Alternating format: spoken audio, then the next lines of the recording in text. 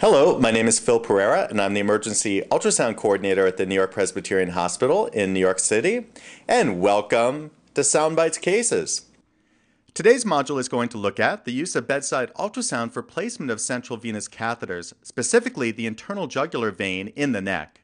So the question is, why use ultrasound for central venous access, and why not just use the traditional landmark technique? Well, interestingly, multiple research studies now show a decreased number of puncture attempts are needed using ultrasound guidance, and there's also a lower complication rate, such as lowering the risk of pneumothorax and hematoma. The U.S. Agency for Healthcare Research, the AHRQ, recommends ultrasound guidance for central lines right up there in the top 10 patient safety practices. Ultrasound will allow precise determination of the anatomy of the vascular structures in the neck prior to a puncture attempt. Here's the middle triangle of the neck that serves as the standard approach for cannulation of the internal jugular vein. We see here the branches of the sternomastoid muscle, the sternal head medially, and the clavicular head laterally. Here we're putting our finger into the triangle of the neck, and this indentation between the muscle heads would be the standard approach for placement of the needle. We see here that the clavicle forms the inferior boundary of the middle triangle of the neck.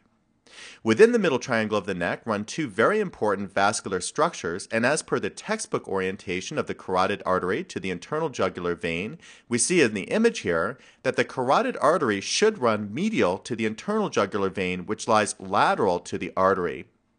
However, unfortunately, there's great variability in human anatomy, and many times the internal jugular vein can overlap the carotid artery, as shown in the drawing here. Notice the variation in location of the internal jugular vein to the carotid artery, and many times the internal jugular vein is located on top of the carotid artery, making it difficult to cannulate. Thus, it's important to look with ultrasound before cannulation attempts to avoid puncture to the carotid artery. Here's the high frequency linear type array probe that we'll be using to best map out the internal jugular vein before puncture attempts. Notice the probe marker there to the side of the probe. Here are the orientations that we can place the high frequency probe in relation to the internal jugular vein for vascular line placement. Here to the left, we see the short axis configuration with the probe perpendicular to the vessel, and notice that the vessel will appear on the ultrasound screen as a circle, as the vessel will be cut end on. To the right, we see the long axis configuration, and note the probe placed along the long axis course of the vessel. The vessel, therefore, on the screen will appear as a tubular structure as shown here in the image to the right. Here's the high frequency linear type array probe placed over the middle triangle of the neck, over the internal jugular vein and carotid artery.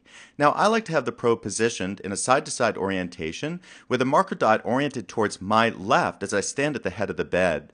The reason for that is then the orientation of the probe marker will line up to the orientation of the screen indicator dot, which we see here is oriented towards the left on the ultrasound screen. Thus, the left side of the probe will orient directly to the left side of the screen, and this will allow us to orient ourselves as we place the needle underneath the patient's neck and cannulate the vein. Here's a typical appearance of the internal jugular vein and carotid artery in a short axis configuration, taken with a B mode or grayscale image. Note lateral here towards the left and medial to the right. Here we notice the internal jugular vein in a location more lateral and superficial to the carotid artery, which lies deeper and medial to the vein. We can see the depth markers to the side, and we note the internal jugular vein at about 1.5 centimeters depth.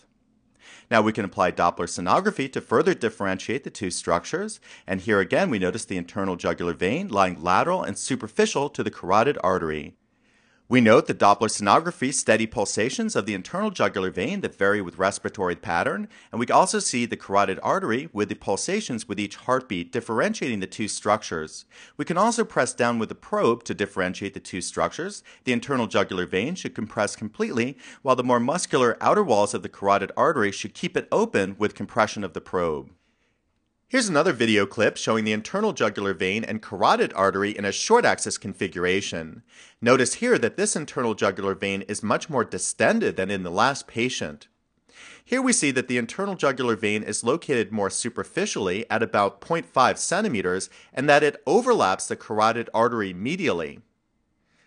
Highlighting the fact that there's great variability in the course of the internal jugular vein in relation to the carotid artery, even within the same patient. We're running the probe from a position high within the neck, in which the internal jugular vein is seen more laterally, to a position more inferiorly, in which the internal jugular vein comes to rest more medially on top of the carotid artery. Here's a different patient in which the internal jugular vein is seen smack on top of the carotid artery.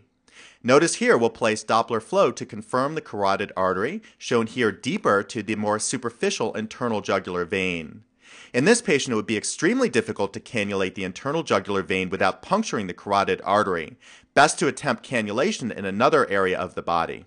One pearl that can be used to further distend the internal jugular vein and make it a better target for a cannulation attempt is to have the patient valsalva or hum.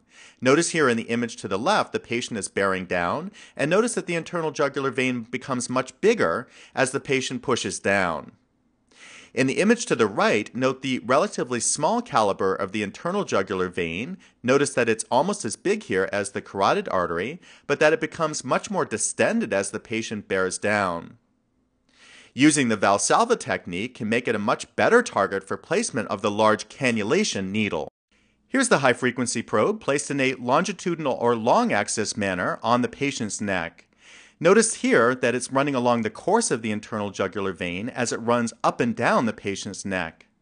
By convention here, I like to have the probe marker towards the patient's head. Therefore, I know where it lines up on the ultrasound screen. Notice here, as the screen indicator dot is towards the left, that superior on the internal jugular vein will be located towards the left of the screen, and inferior will be located towards the right of the screen. Here's a long axis view of an internal jugular vein. I have the probe marker going more distally or superior within the neck, so to the left is distal and to the right is proximal. Notice the internal jugular vein that appears like a tubular structure on the ultrasound screen, and we see the blood flowing here from left to right. Here's a video clip, again a long axis configuration in a different patient, and here we see a much more distended internal jugular vein that's lying on top of the carotid artery. Notice the swirls of blood in the internal jugular vein, showing the course of the blood flow from high within the neck to the left, low within the neck here to the right. In conclusion, thanks for tuning in for part one of ultrasound guided central venous access. I hope I've been able to score the point that ultrasound is very helpful in determining the relative anatomy of the internal jugular vein and carotid artery prior to an invasive procedure, as the textbook anatomy of the vein to artery is often incorrect. And it's best to use a combination of short and long axis views prior to a puncture attempt to best define the anatomy. So I hope to see you back in the future as SonoAccess continues and we return in Central Venous Access Part 2.